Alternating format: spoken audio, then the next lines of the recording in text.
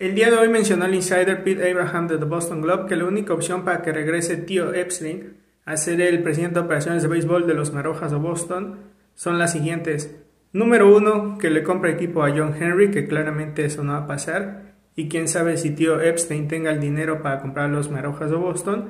Y la segunda es que directamente equipo de Boston le den acciones del Boston Sports Group, que sea como también dueño, que sea accionista de equipo de Boston, para que acepte y regrese a ser presidente de operaciones de béisbol, que claramente eso no va a pasar, así que no veremos más a tío Epstein, por lo menos en estos años,